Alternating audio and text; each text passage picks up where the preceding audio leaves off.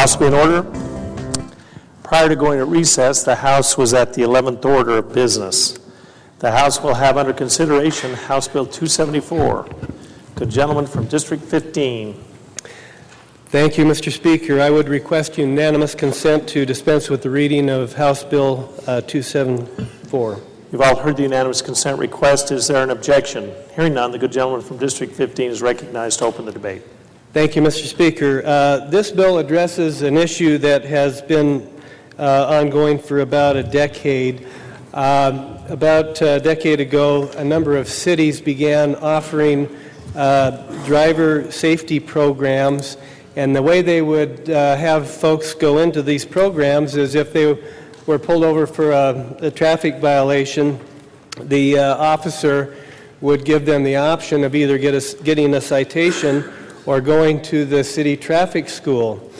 And uh, if they, uh, of course, the advantage of going to the city traffic school is that they would not get a citation and they would not get points on their record, and the uh, city would uh, then have some safety training and charge a fee for this. And a couple of problems with this is number one, it was happening outside of our uniform citation system, uh, which tracks uh, everything through iStars. And the cities were using their own uh, citations to, and summons to, to send people to these driver schools. Secondly, it uh, diverts funds from the normal fine distribution formula that funds uh, iStars, funds Post, funds uh, county justice funds, and the like to run the courts. And so last year there was a bill that made it partway through, but it did not fully address all of these issues.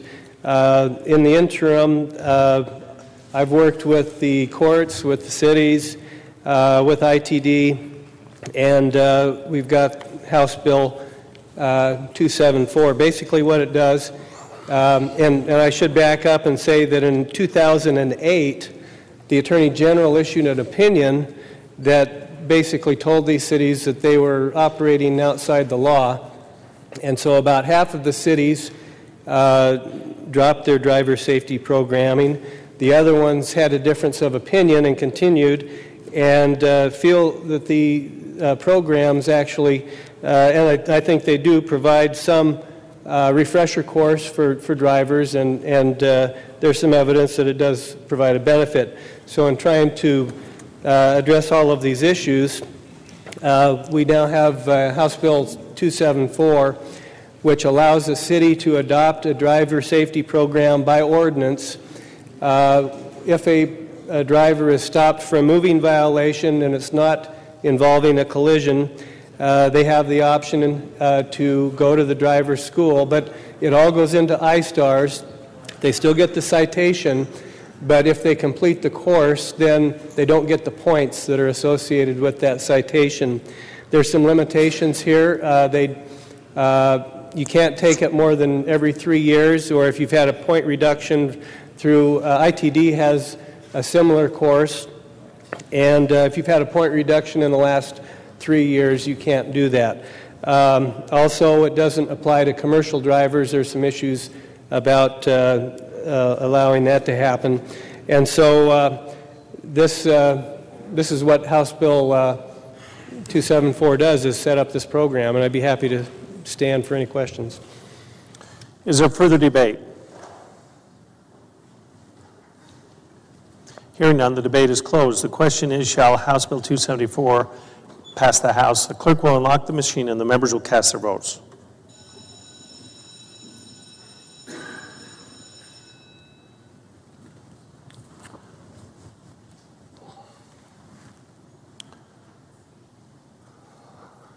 Has every member voted? Does any member wish to change their vote? The clerk will lock the machine and record the roll. The roll call shows 65 ayes, 0 nay, 5 absent and excused. House Bill 274 is passed. The House is a correction to title. Hearing none, House Bill 274 will be transmitted to the Senate. The House will now have under consideration House Bill 292. The gentleman from District 4. Thank you, Mr. Speaker. I ask unanimous consent that we dispense with any further reading of House Bill 292. You've all heard the unanimous consent request. Is there an objection? Hearing none, the good gentleman has the floor. Thank you, Mr. Speaker. Members of the House, this is, uh, this is a bill that deals with assaults on doctors and other healthcare professionals. It's become a problem in Idaho, and I, have passed out some letters from people who are in the healthcare profession uh, for you to consider. This bill serves as a tool for deterring such violence. It's uh, supported by the Medical Association, the Idaho Hospital Association, St. Alphonsus, Kootenai Medical Center, the emergency room directors in each hospital um, that, uh, that I just listed, including St. Luke's, um, Gritman Memorial, Portneuf Medical Center, and uh, um, they all wholeheartedly support this bill. This bill has been, this is actually a second iteration of what we've tried to do uh, to address this problem. And uh, to give you a little bit of background on what the problem is, nationally, a four year Bureau of Justice statistics study showed that between 2002 and 2010, 69,500 nurses and 10,000 physicians were assaulted. According to a 2010 survey from the Emergency Nurses Association, one in four ER nurses reported being assaulted more than 20 times over the past three years. The survey noted that the violence seemed to be increasing at the time the number of alcohol, drug, and psychiatric related patients was rising. OSHA confirms that the rising rate of assaults and confirms the rising rate of assaults and recently said that the risk of job-related violence against healthcare and social workers is presently higher than for any other field. According to the National Institute of Occupational Safety and Health, each day more than 9,000 healthcare workers are injured or verbally or physically attacked on the job. OSHA's guidelines on preventing violence against healthcare workers express great concern about the likely underreporting of violence and persistent perception within the healthcare industry that assaults are part of the job. And one thing I'd like to point out is that, that healthcare workers are mandated, particularly in emergency rooms, are mandated to uh, provide care for individuals even when they're being violent. So they're in this situation, uh, as, as the statistics I just read to you tell the story, they're in a situation that is becoming increasingly violent and they're mandated to provide care in that. so, again, what this bill does is attempt to deter that violence. Um, and to give you some Idaho specific in, uh, information, uh, Kootenai Medical Center from my district, they keep records of assaults and um, or are starting to keep track record of assaults. Most say it happens frequently, most hospitals do, and that the existing penalties under law are so minuscule that they just don't bother. Um, so we don't have a lot of statistics now, but we are starting to track this here within the state. Predominantly, these assaults include uh, significant physical conduct such as pushing and pulling the victim, and you can certainly read about those in, uh, in those letters that I passed out to you. Um, and I have, I, could go into a ton of detail. I mean, we just have uh, uh, so many firsthand accounts from throughout the state, a lot of them from up in my district, but certainly from every hospital uh, here in Idaho.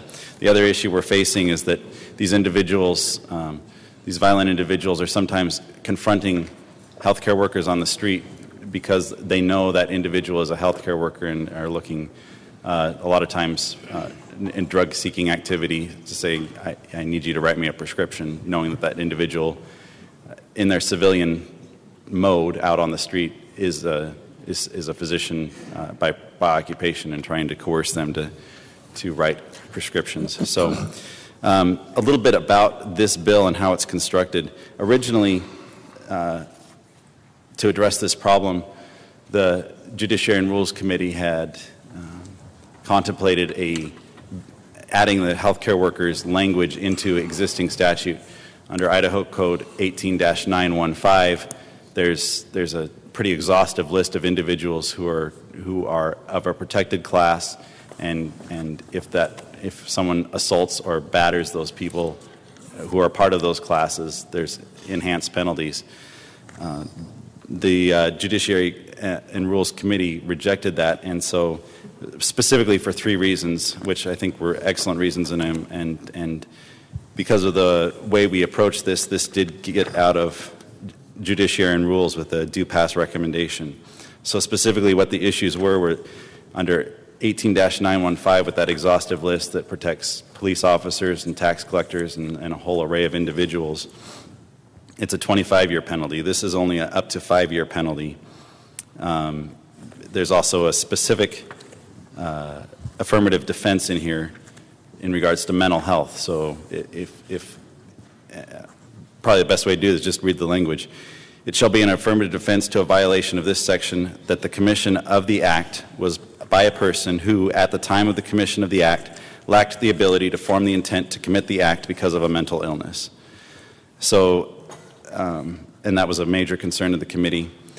Uh, was was what, particularly in the healthcare industry, you obviously have people who are who are have uh, mental health issues, and if that is the cause of their of their violence, if they and they can't form the requisite intent to commit a battery or a assault, that this this would provide for affirmative defense. And then the, the third thing that we specifically tailored that the original statute uh, that 18915 currently doesn't have for those other individuals who are a protected class is that of uh, the specific um, status. So under under 18-915 currently, just because someone is, say, a police officer, any battery could potentially include them in this.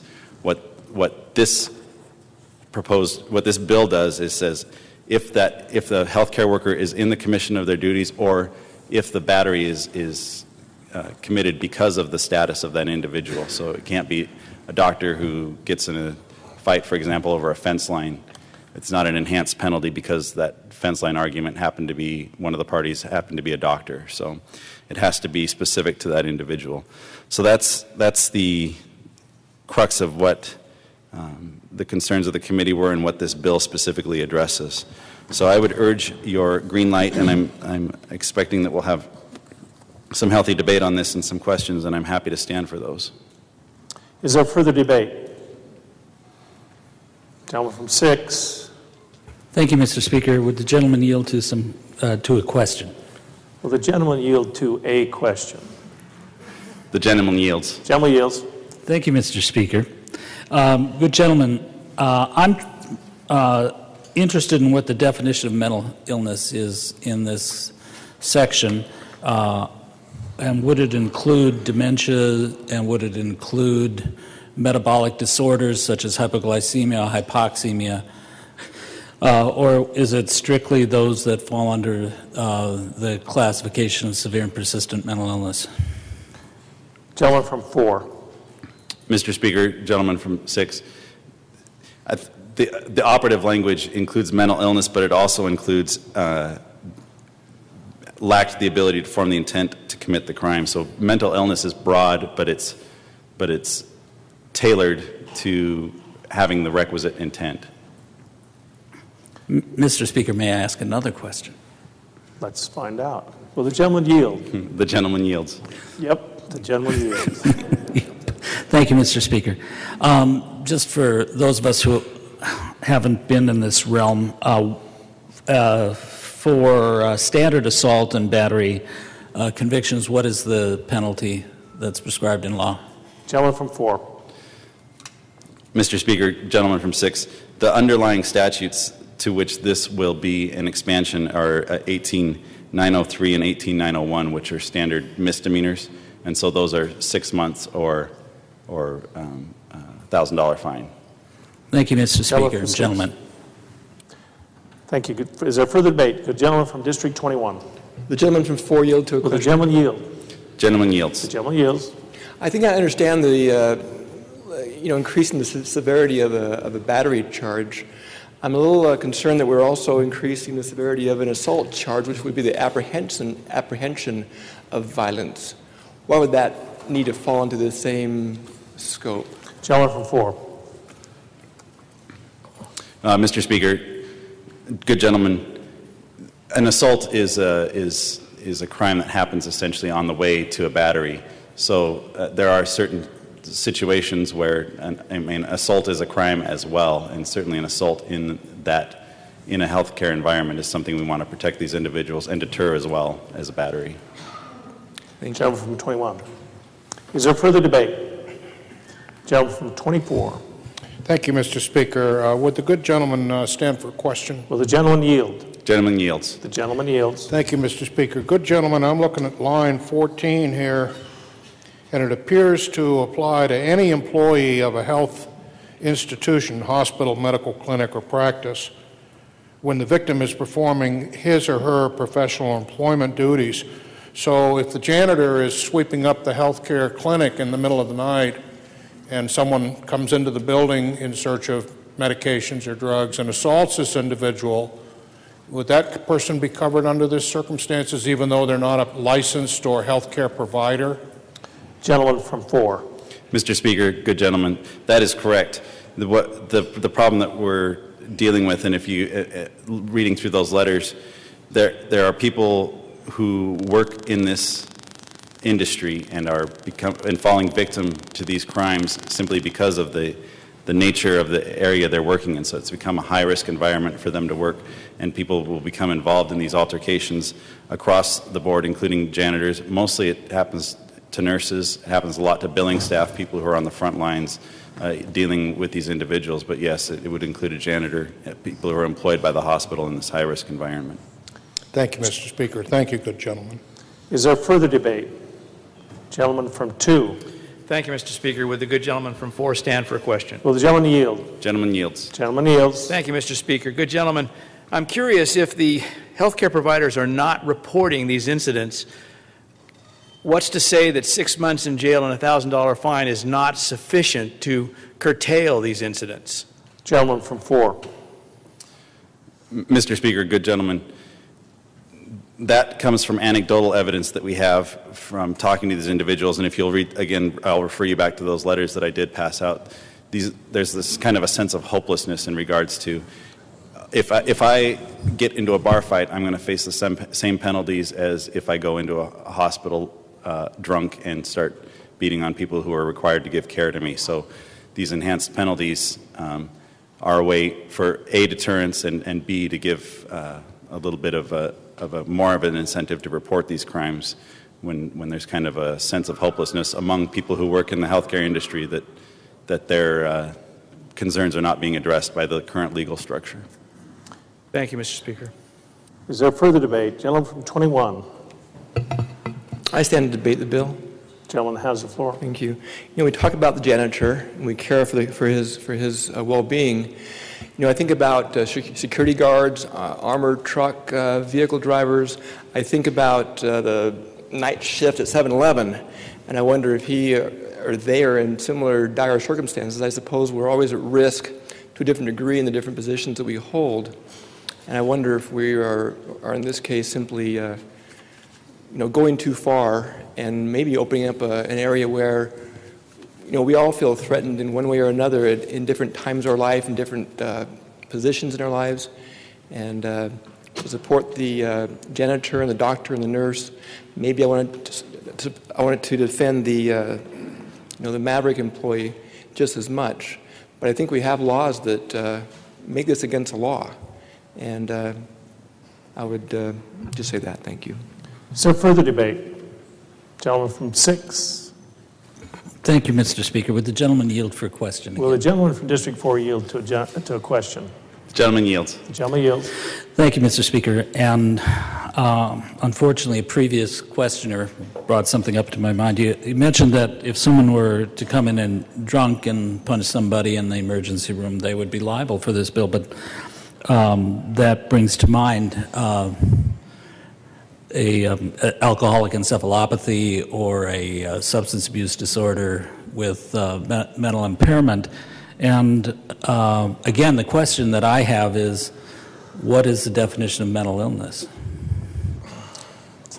Good gentleman from District 4. Mr. Speaker, gentleman from 6, that, that there is no definition in this statute for mental illness. That would be a, that would be a question that would be determined by the jury in this in this case. Thank you. Is there further debate? The lady from District 5.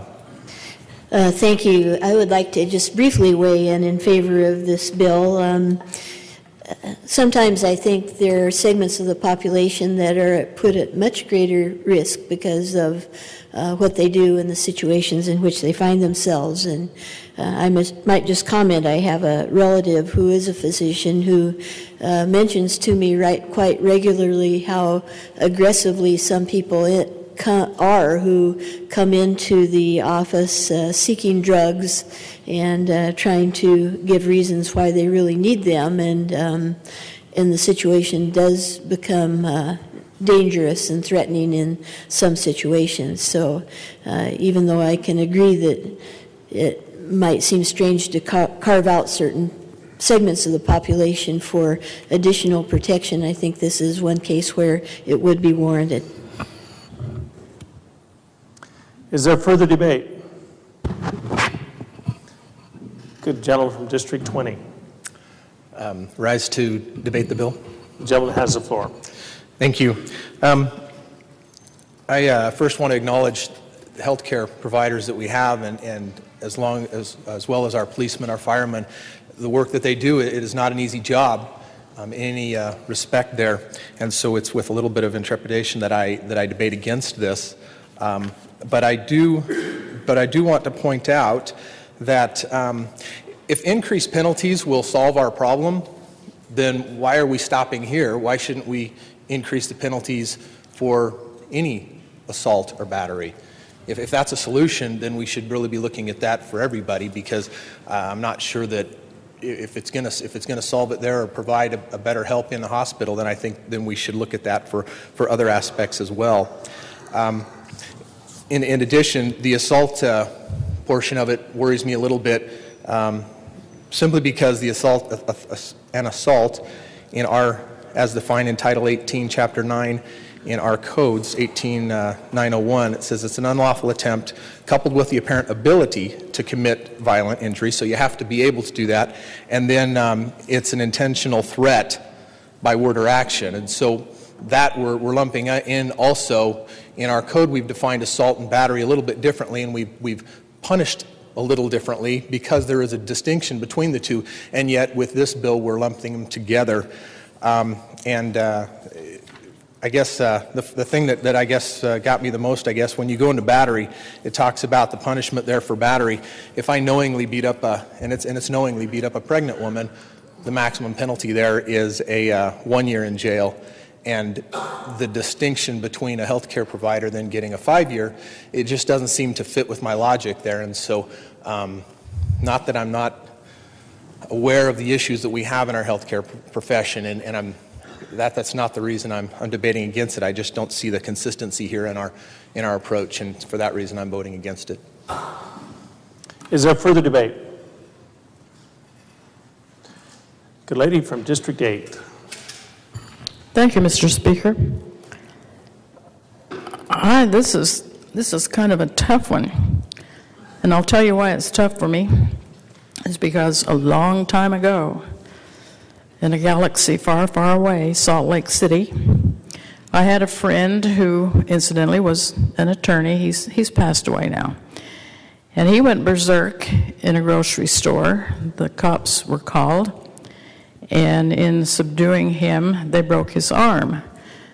Obviously, he had a mental problem, but they hospitalized him. They, and he didn't hurt them, so I guess they didn't have any complaints. But uh, I'm a little confused on on this mix of uh, of um mental illness. Uh, people who are bipolar quite frequently go a little astray, so to speak, and uh, somebody will call a cop. With, is this bill going to automatically, let's say they've got them to the hospital, is this bill automatically going to put someone like that in, uh, in prison? Which, if, if they do, it certainly won't do that individual any good. It'll just make him worse. So, are we really protecting our mental problems? Did I ask for an inquiry? You, you did not, and we're Oh. considering this debate. You're not going to let me inquire. Well, the lady Well- can always re- inquire. Well, would the, would the gentleman just respond to that? I, my confusion is, what are we doing on the mental lady, level uh, here? let's ask him. Will will the gentleman yield, and, and good lady, if you'll rephrase and, and make your question a little bit more concise? The gentleman yields, so Thank you, place Mr. your question. Thank you, Mr. Speaker. And part of my problem is the gentleman is behind that pillar. And I wasn't too sure where the voice was coming from.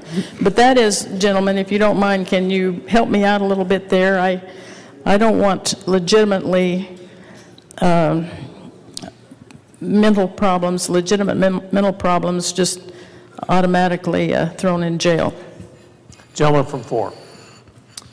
Mr. Speaker, Mr. Speaker, good lady, that, that is the intent of our language in regards to the, in, in regards to creating an affirmative defense for mental illness is to protect those who, who are lashing out violently, not because of an intent to do so, but because of, of mental illness. Good lady from eight. Okay, just a brief follow-up. Will the gentleman yield further? Gentleman yields. The gentleman yields. Thank you, Mr. Speaker. Okay, under those circumstances, there would seem to be some, some protection uh, if it is determined that it is a, a mental deficiency, the result of some sort of mental incapacity. But how long is it going to take them to figure that out? Gentleman from four. Mr. Speaker, good lady, I think that would be a case-by-case determinative issue. In some, in some cases, that may be something that's apparent early on and, and the ca- case wouldn't be charged or, or even reported, or it would be, or, or it could be an issue that would actually be an issue of fact that would go to the jury. One more follow-up, Will the gentleman please. yield further? Gentleman yields. Okay, thank you, Mr. Speaker. Gentlemen, all right, I, I'm kind of getting there, I think. So, let's assume some assault and battery occurs. Under the present bill, it would just be treated as assault and battery with no interest in whether or not there was a mental incapacitation. Um, And he probably would be put in jail. So is this bill making enough of a distinction?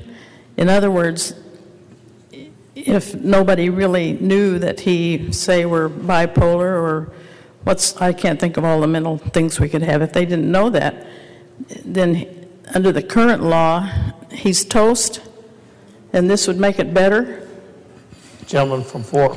Mr. Speaker, good lady, the, the, the ability to form a requisite intent is always an issue for crimes. So I, I would say that, that even in those situations, someone who's mentally ill would have protections under, under, under law.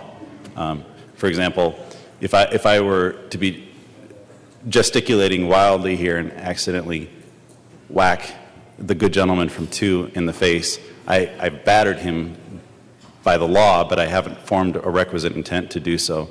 Likewise, if, if you have a mental illness, you can't, you don't have the ability to form that requisite intent. That's something that's taken into account both, um, well, in, in the criminal law realm. What this does is provide extra protections on top of that for the enhanced penalties under this statute in regards to people who commit assault and battery on healthcare workers. Good lady from eight. I've got to ask one more, Mr. Speaker, please. That's okay. Uh, If the gentleman will yield. The gentleman yields. The gentleman yields. You know, thank you, Mr. Speaker, and we go through this protocol, and by the time I get to where I need to be, I forgot what I was going to ask. To the extent that that's my fault, I apologize. Okay. So, we have an incident. Oh, you just made a comment about enhanced penalties. Are the penalties under the new law enhanced, even though there may be some allowance made for a mental problem? Are the penalties still enhanced above what they are currently? Gentleman from four. Mr. Speaker, good lady, in a situation where someone can form the requisite intent, i.e., they, they don't have a mental illness that would, that would keep them from forming that requisite intent, and they committed a battery on a healthcare worker in, because that person was a healthcare worker or in the, in the healthcare setting, that individual would be liable for these enhanced penalties, Lady from eight. potentially. Mr. Speaker, I've had some personal familiarity with this kind of thing, and I'm really confused. I don't, I don't know what I'll do when it comes to a vote. But thank you, Mr. Speaker. You've been very patient. Thank you, gentlemen. Thank you. Is there further debate? Good gentleman, good lady from District 11. Thank you, Mr. Speaker. Uh, I thought I would just rise and share some information that came to our committee regarding this bill. And I think the one thing I thought that might help is that this bill was really aimed at those individuals who come into a hospital actually searching for drugs is usually when this occurs and they're being assaulted and it's a very specific instance for the most part and this is the difficulty that our hospitals are dealing with and it really goes back to the substance abuse issue that idaho has here uh, if you look up in statute also we did talk about the enhanced penalty Part of that penalty, though, really is to bring it up on the radar of the law enforcement and have some uh, teeth put into this. The intent is not to throw more people in, in jail, because on our Jude and Rules Committee, we're pretty good about watching how many people go there, because there's a lot of money involved there. But when we can arrest these individuals in a hospital, have this penalty, we also have the options of sending them then to some of our specialty courts, our substance abuse treatment centers, these types of things, and be able to get this issue under control. Uh, in statute, there are other very special people who are uh, have this extra protection. However, the enhanced penalty on some of those people is actually 25 years, and we did not agree that we would go ahead and add that penalty to to this class of people uh, because we do understand you really do have to differentiate when has somebody come to the hospital seeking uh, care? When are they in pain? When is it a mental illness? Versus when are they coming in there uh, and really seeking drugs and, and wreaking havoc? And that's really what this is based on, and we want to protect our hospital workers. For some of the other people in code who are protected, just as a as a very small list actually, but emergency workers, our firemen, our police, our judges, and even our social workers. These type of people that deal with very specific instances, most of them deal with substance abuse and crime issues. Uh, that's really what this is also geared for. With the intention, though, however, that we want to be able to jump on this, we want to protect our hospital people, and yet on the other side, you want to balance it with actually probably work towards more fixing the problem rather than adding to the problem. And so I just wanted to share some of that that came out of the committee uh, from members of the House. Thank you. Is there further debate? Gentleman from, I'm going to go with the good lady from District 33. Thank you, Mr. Speaker. You know, I, I sat here and I wondered whether or not I was going to stand because I am a co sponsor on this. But it isn't just about those that are seeking drugs. You see, I have a daughter who works in the, in, in the hospital. And there are other instances that happen, and they happen on uh, uh, quite frequently for these nurses and for these healthcare providers. When a, a nurse has to go in and assess a patient, they have to get very close to this person. And uh, in assessing a certain patient, uh, my daughter leaned over, was adjusting some things, and he reached up and he fondled her. And at first she was taken back, so she, she moved away, and then she came back and he did it again. And then as she was trying to leave the room, he pulled her onto the bed. These are situations that happen for these people quite frequently, and they do need the added protection. Uh, they do not need to subject themselves to these types of treatments, and yet there are those out there that feel that they are entitled to treat their healthcare workers differently. So I would very much recommend that we go with a green light on this one. Thank you. Is there further debate? Good lady from District 35. Mr. Speaker, would the gentleman um, respond to a question? Well, the gentleman uh, Gentleman That's yields. another question. Yes, the gentleman yields. I'm, I'm trying to understand the gentleman. I believe um, what this does is makes this crime a, a uh, felony. Is that correct? Gentleman from four. Mr. Speaker, good lady, that is correct. And if I might, Mr. Speaker, ask again. Will the gentleman yield? Gentleman yields. The gentleman Thank yields. you. And then the, so the five-year is not, uh, is not absolutely uh, the case in all uh, felonies. This would be a special circumstance. Is that correct? Gentleman from four. Mr. Speaker, good lady, that is correct. This is a specific circumstance, a specifically tailored uh, felony enhancement that doesn't increase the fine levels but does increase the jail time. And, and because it is over a year, that classifies it as a felony. It is discretionary uh, upon, you know, whether or not a deal is made uh, in regards to the case or what the judge will impose at sentencing, uh, whether or not that full five years will be used or whether or not something between the, the regular penalties for battery and, and the full five years will be used. Mr. Speaker, one more, if the lady. gentleman yield one more Uh, time. Will the gentleman yield? Gentleman yields. The gentleman yields. Then, just to be sure in my mind, uh, it seems to me that this is a mandatory. If that's mandatory, it really doesn't give the judge discretion in, uh, in the imposition of the five-year fine, or the five-year p- prison penalty. Gentleman from four.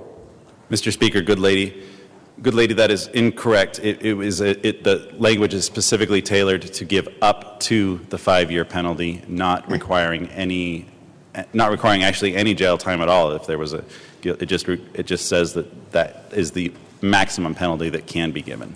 Oh, well, That helps me. Thank you, Mr. Speaker. Thank you, gentlemen. Is there further debate?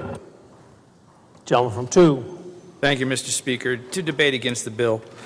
The gentleman has the floor. Thank you, Mr. Speaker. There are a number of things that uh, are of concern here, I think. Certainly, the first is the uh, definition that we're dealing with with respect to mental illness and that capacity for intent. I think that there, uh, the bill itself brings confusion to the penalties for assault and battery, and I think that that is a concern and should be better defined. The idea that uh, somehow the purpose of the bill is to incentivize reporting for these incidents is of concern as well. It seems to me that if the uh, uh, healthcare workers are not even reporting these, we, uh, six months is a long time to be in jail for even the assaults that the good lady was talking about, and whether or not these would actually uh, uh, uh, prohibit this or deter this behavior uh, any more or less is, is really, uh, I think, questionable. And whether or not uh, we're targeting those that are searching for drugs, that is an issue here that is not addressed fully uh, within the bill itself. So uh, we're not really even able to represent that the current penalties, if applied properly, would deter this type of behavior. And, and I think that this bill just needs, needs some work and probably is not appropriate at this time. Thank you. Is there further debate? Hearing none, would the good gentleman from District 4 care to close the debate? Thank you, Mr. Speaker. Uh, Just very briefly, several things. Um, First, in regards to the issue that was brought up in fondling, if I could direct you one, just one last time to the letters that I've given you, that is, that is certainly a widespread problem where uh, there's intentional fondling of particularly female nurses that, that's happening in, in the healthcare industry, and, and that would constitute a battery and would be protected under this statute. In regards to the, uh, the uh, example of people who are in a line of work, such as working at 7 Eleven,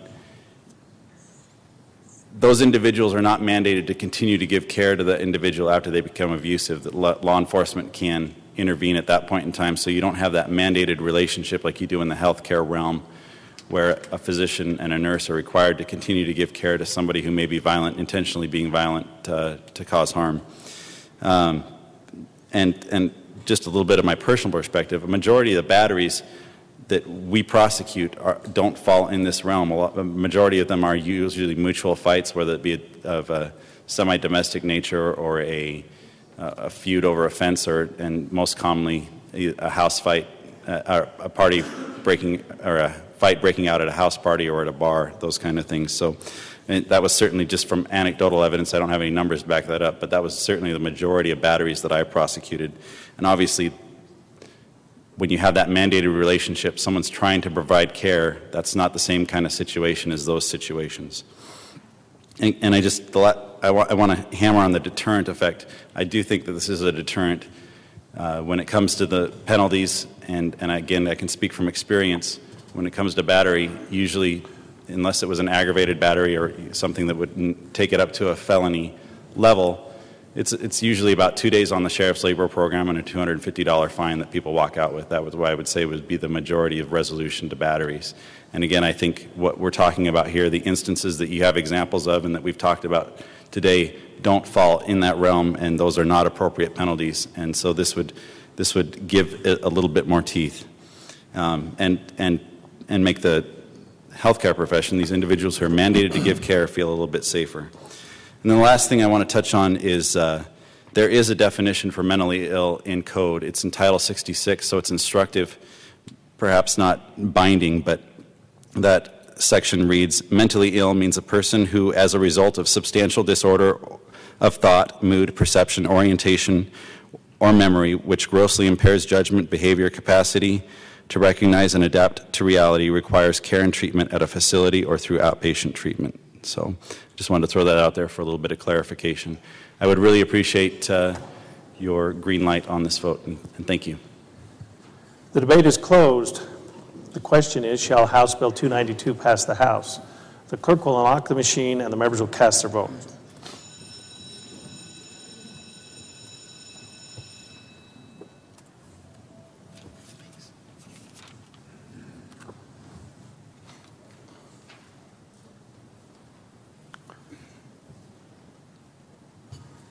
Has every member voted?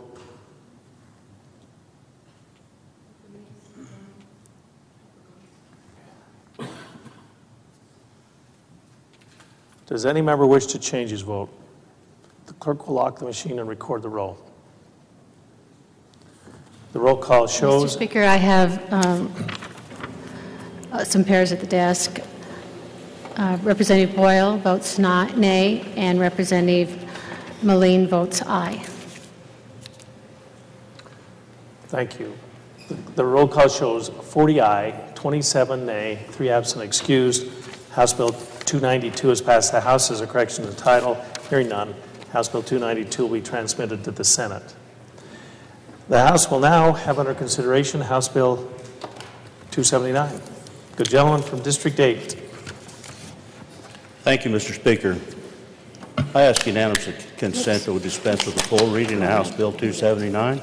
You've all heard the unanimous consent request. Is there an objection? Hearing none, the gentleman from District 8 is recognized to open the debate.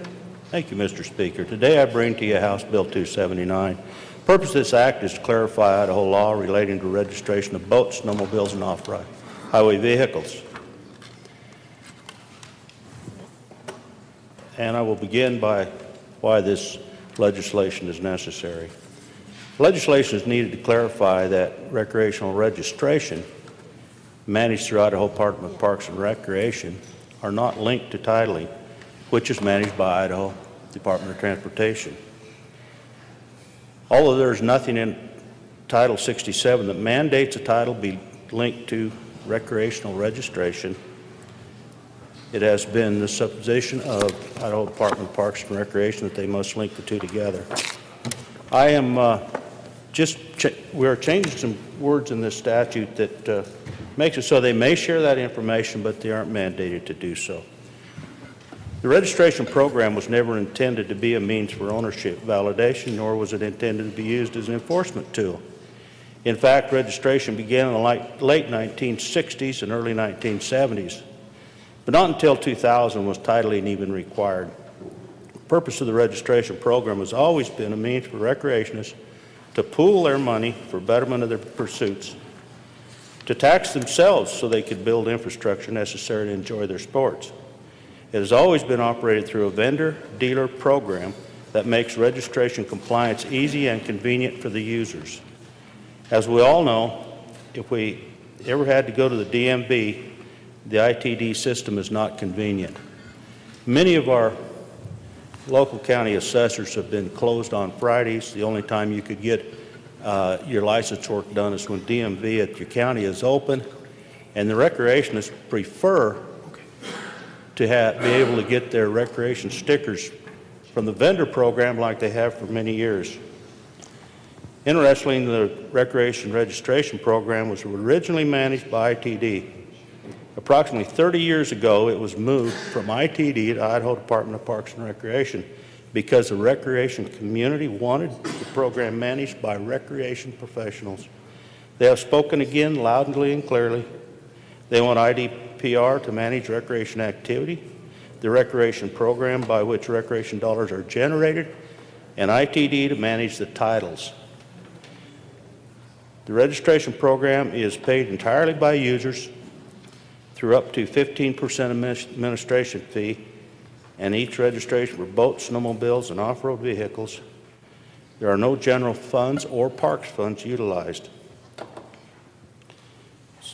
So the best way we know to uh, resolve these issues is to make some corrections to the statute. Uh, User groups that support this, Mr. Speaker, are the Idaho Recreation Council, the Idaho State Snowmobile Association, the Idaho ATV Association, Blue Ribbon Coalition, Fremont County, Valley County. They run two of the largest programs in the state. The Idaho State UTV Association, the Idaho Trail Machine Association, and all the vendors across the state want to continue with the program that they have been utilizing for the past 30 years. And what happened here was Department of Parks and Recreation was wanting to move all this, all this requirement over to the Idaho Department of Transportation and the user groups uh, really do not want to change that. And I'm here today, Mr. Speaker, to defend our customers and our users of the great state of Idaho. And I would ask for your yes vote on House Bill 279. Is there further debate? Good lady from District 18. Thank you, Mr. Speaker. I rise to debate against this bill. Lady has the floor. Thank you. Actually, in uh, Title 67, Chapter 71, in 7102 and 7103, it says snowmobiles, boats, ATVs, all those must be titled and register in Idaho. The top paragraph of on page 11 of this bill and uh, the bottom paragraph on page 9 says um, IDPR does not have, uh, does, that they may communicate with the Idaho Department of Transportation. The, currently, as, well, as of July 1st, the Department of Parks and Rec will not have a computer that will share data with Idaho Department of, uh, of Transportation. So the bill says you the, the current, current, uh, current law says you shall title your, uh, your, machine, your vehicle, but this bill says you may give this information to I, Idaho Tra Transportation Department, that IDPR may give this information to Idaho Transportation Department. This allows some people who buy and sell vehicles to avoid paying sales tax on the purchase and the resale of their, their machines. This allows an outdated computer to go out of date July 1st at IDPR, and this, this whole system of registration and stickers may go away July 1st because they don't have the equipment to, to do what they need to do at Parks and Rec. They can't share the data with Idaho Transportation Department. They will go back to copies in triplicate, paper copies that vendors get and have to mail in. It's an outdated system, outmoded system. They had a different bill that failed. This bill is just not quite there. It's not quite gelled, and it's in conflict with current code. So I vote. I would uh, urge your no vote. Is there is there further debate? Good lady from District 4. Mr. Speaker, just to declare Rule 38, I'm a off-road vehicle dealer as well. Is there anything you don't sell up there? Duly noted. And the journal will reflect that the lady from District 4 declared under Rule 38 a possible conflict. Is there further debate? Gentleman from District 25. Thank you, Mr. Speaker. Will the gentleman yield to a question? Will the gentleman from District 8 yield to a question? Gentleman yields. Gentleman yields. Thank you, Mr. Speaker. Gentlemen, does this legislation correct the problem that is, that is there? Gentleman from 8. In my opinion, this legislation solves the current issue. However, this is not the end game. We're going to continue to work on this as we move forward. Gentleman from 20, is there further debate? Good gentleman from District 24. Thank you, Mr. Speaker. Would the good gentleman yield to Will another the gentleman from question? District 8 yield to another question? Gentleman yields. The gentleman yields. Thank you, Mr. Speaker. Good gentleman, do you have an estimate of how much revenue is taken in uh, for the registration of these vehicles and and would therefore be, uh, be transferred or lost? Uh, And, and second sort of part of that is, uh, is it so that the vehicle then would not be uh, registered uh, with a title, uh, a legal title? Gentleman from 8. Mr. Speaker, good gentlemen, I believe there were two questions there. First, titling and registration are two different functions. Titling of an off-road vehicle must be done through your local DMV. Titling of a boat must be done through your local DMV, and titling of a snowmobile must also be done with your DMV, which that information is kept with the Department of Transportation, and that is whenever you purchase a vehicle, that is your responsibility. However, the recreational registration is side and separate from that. And there is a tremendous revenue here. Uh, I don't have the total revenue, but I do know that uh, the potential loss here of changing this, uh, uh, yeah, the 15% is like 250,000. In the off, in the motorbike ATV registrations, uh, currently 2011 there were 134,000 of those sold, but yet you still can go to uh, uh, if you have an ATV, you can go to the transportation or your motor vehicle and get you a license to operate on the highway. That is separate from your recreation on the trails and on the public lands. Follow up, Mr. Speaker. Would the gentleman from District 8 yield to another question? Gentleman yields. The gentleman yields. Thank you, Mr. Speaker. Good gentleman. So if a person does not register the vehicle, or the vehicle's uh, registration information does not go to ITD, is that revenue then that would have gone to the state, is that lost? And how much are we estimating would be lost in that process of people who are not, try- not uh, paying the, the uh, the appropriate fee with ITD on these vehicles? Gentleman from 8. Mr. Speaker, good gentlemen, I anticipate no loss of revenue. This is not revenue to the state. This is revenue to the recreation programs.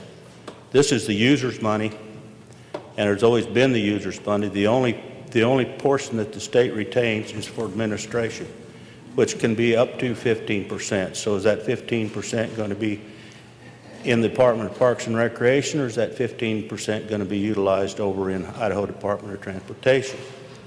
It doesn't have to be 15%, but that is the maximum allowed. So all the money is returned to the user groups. Thank you, Mr. Speaker. Thank you, good gentleman. Is there further debate? Gentleman from 32. Thank you, uh, Mr. Speaker, to debate the bill. The gentleman has the floor. Mr. Speaker, members of the committee, uh, the body, uh, this is a bad bill, but I don't know how to make it better. We worked on it in committee. Uh, it, it doesn't solve the problem. The problem's not going to go away, and uh, I will be supporting the bill. Uh, it's not often that you get up and say a bill's a bad bill, and turn around and vote for it. But uh, I encourage the. We uh, did that for seven hours once. Mr. Speaker, uh, I encourage the, uh, the parties uh, involved in this to continue to work on it and see if we can find a better solution. Thank you. Is there further debate? Good gentleman from District 15. Mr. Speaker, request to debate on this bill. Gentleman has the floor. Thank you. I uh, watched this bill very closely in committee. We went through it uh, the whole way. There were a lot of people testified. There was a lot of testimony going on. A couple issues come up. One is it was used to try and capture this away from the groups and everything. It sold these off-road stickers saying that some people just use their registration when they buy a snow machine or a four-wheel or something like that, where they're not rented on the road, and they don't pay the sales tax. They just use the registration to get the sticker. Uh, but they couldn't say how many people did it, because it was obviously a small number. So in America, we don't punish everyone to get to a very few. That's not what we do in America. That's, that's, that's wrong, and we can't go on that plane. The other thing is, these stickers are available for people that come out of state on the weekends. So a lot of people, by the tens of thousands, come over to Idaho to run their snow machines, to run their off-road vehicles, and the DMV isn't open Friday when they come. So they have to uh, buy it from the hardware store or whoever sells these stickers. A lot of different people are deputized in their businesses to sell these stickers. That's a huge amount of revenue that comes in. So we don't throw this thing down the toilet because of a few dollars in sales tax for dishonest people, because we're going to have tax cheats constantly. But this brings in real money. The other thing is, I've ridden on these trails where this money goes from Parks and Recreation, and it's beautiful. I've mountain biked on many of them, and they do a fantastic job. And we're talking hundreds of miles of trails that are recreational trails and bring a lot of tourism into the state. These people that are issuing these permits have had it for 25, 30 years, and they've been doing a great job with it. And I think they need to continue to be able to do the great job, and they want to do it, and they're doing it effectively. And this is good legislation. It gets right to the heart of everything that we represent. A lot of us do. It's a good bill, and I encourage you to vote yes, like I will be. Mr. Speaker, thank you, my colleagues. Is there further debate? Good lady from District 5. Thank you. Would the uh, gentleman please District- yield the sponsor? Will the bill Gentleman sponsor yield to a question? The gentleman yields. Thank you, Mr. Speaker and, and gentlemen. Um, discussion we had in committee from Parks and Recreation was that uh, they had a mandate to share certain information with uh, the Department of Transportation, and um, without the technology to do it, uh, there would be something like a $1 million impact to try to get that in place. And uh, could you discuss how much of an issue you think that is? Gentleman from 8. Mr. Speaker, good lady, I don't see that as being an issue because recreation and titling are two different issues. And that's why I bring this bill today, is to clarify that they may share recreational registration with ITD, but they don't have to. ITD is still responsible for titling when a person purchases a, uh, a vehicle. But they're completely separate issues, as I see it, and that's why I bring this legislation. Good lady from 5. Is there further debate? Would the gentleman from District 8 care to close the debate? Yes, I would, Mr. Speaker, and thank you. I would like to address the concerns that the good lady from 18 have today, and that is concerning the mandate in Idaho Code that Parks and Rec uh, share their information with ITD. And again, titling, everyone is required to title their ATV. You good gentlemen, when you buy a ATV to use on your ranch, you must title that vehicle at the time you purchase it. However, because you're going to use it on your ranch, you never have to buy a recreational sticker. You never have to visit it, DMV again.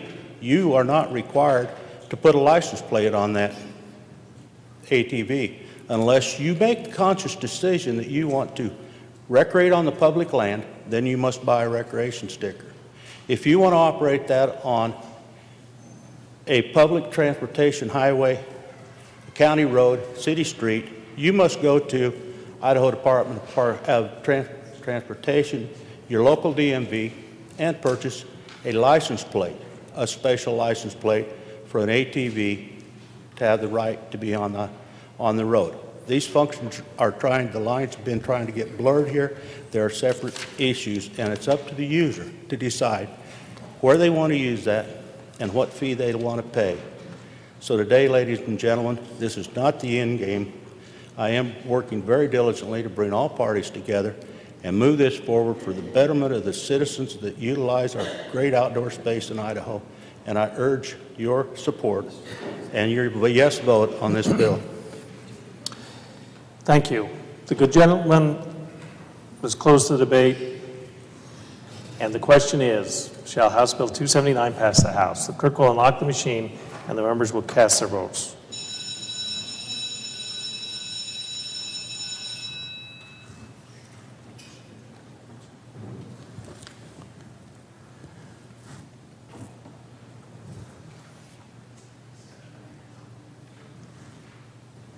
Has every member voted?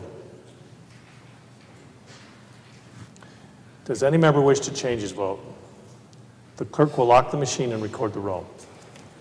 The roll call shows 56 aye, 9 nay, 5 absent, excused. House Bill 279 has passed the House.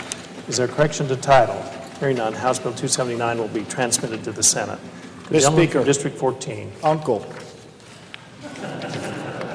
I move the remaining bills on the third reading calendar hold their place one legislative day. You've all heard the unanimous consent request. Is there an objection? Hearing none, the remaining bills on the third reading calendar will hold their place for one legislative day. Without objection, the House will now return to the seventh order of business, motions, memorials, and re- and resolutions. The House is at the seventh order. In the House of Representatives, House Resolution Number 3 by Ways and Means Committee, a House resolution stating findings of the House of Representatives and providing for the amendment of Rule 64 of the Rules of the House of Representatives. House Concurrent Resolution Number 32 by Ways and Means Committee, a concurrent resolution stating findings of the legislature and rejecting certain final rules of the State Tax Commission relating to income tax administrative rules. House Resolution 3 and, and House Concurrent Resolution 32 will be referred to the Judiciary Rules and Administration Committee for printing. The House will now advance to this eighth order of business, first reading of bills.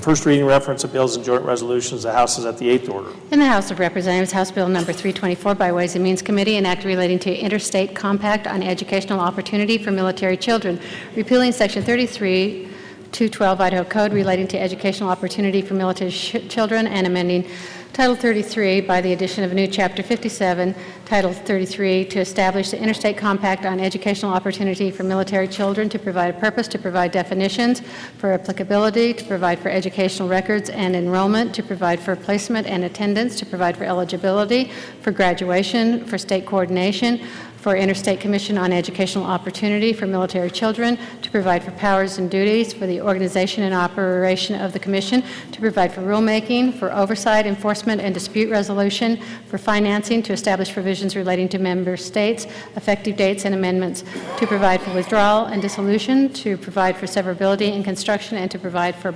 binding effect of compact and other laws. House Bill 324 will be referred to the Judiciary Rules and Administration Committee for printing. Without objection, the House will now advance to the 15th order of business announcements. Are there announcements? The lady from District 26. Uh, Thank you, Mr. Speaker. The Sportsman's Caucus will be having uh, a breakfast meeting at 7 a.m. tomorrow, um, or Thursday, yeah, Thursday, uh, at 7 a.m. So, oh, up in the majority caucus room. Are there further announcements? Clerk may read. Following are the Standing Committee meeting announcements again for this afternoon. Agricultural Affairs Committee will not meet, and on, and upon adjournment, Environment, Energy, and Technology Committee will meet, Local Government Committee will meet, and Transportation and Defense Committee will meet. For tomorrow morning, Education Committee will meet at 8:30 a.m. East Wing, Room 41, DeMordaunt Chairman. Health and Welfare Committee will not meet tomorrow morning, Wood Chairman. State Affairs Committee will meet tomorrow morning at 9 a.m. East Wing, Room 40, Loertscher Chairman. Revenue and Taxation Committee will meet tomorrow morning at 9 a.m. East Wing, Room 42, Collins Chairman.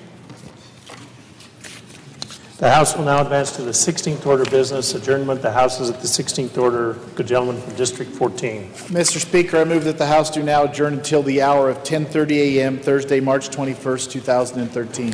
Mr. Speaker, I second that motion. You've all heard the motion. All in favor say aye. Those opposed say nay. The ayes have it. Motion carries, and the House stands adjourned until the hour of 10:30 a.m. Thursday, March 21st, 2013.